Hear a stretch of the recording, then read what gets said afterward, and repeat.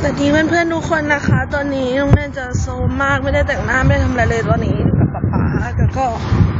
อยู่กับแม่กำลังขึ้นรถนะคะ นั่นครับนี่นี่ เราจะไปเป่างูสวัสดกัน น้องแนนเป็นงูสวัสดแล้วก็ขึ้นที่หัวตรงนี้เลยแล้วก็ ไทยทอยก็จะบวมไข่ไม่รู้ว่าเป็นหรือเปล่าแต่เดี๋ยวไงเดี๋ยว ไป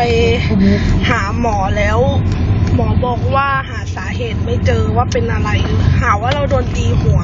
หาว่าเราโดนพึ่งต่อยไม่รู้ตัวคือมั่วมากอะ่ะ เออ แล้วก็ป้ากำลังจะพาไปตอนนี้เราเจ็บมากไข้ขึ้น หัน หันไม่ได้เลย เจ็บหมดเลย โอเคนะ ไปแล้วนะบ๊ายบาย